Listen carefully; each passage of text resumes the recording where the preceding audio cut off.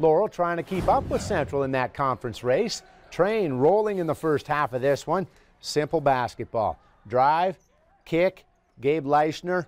Corner money, got it. Laurel up 21 to 12. But Sidney opens the second half on a run. Max Peters steps outside and he snaps the net. Suddenly it's 27 24. Eagles within three, but that's as close as they'd get. Leichner again, NBA range.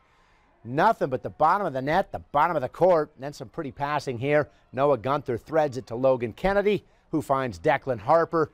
That's as nice as it looks. Locos increase the lead to 13. They hang on to win by six.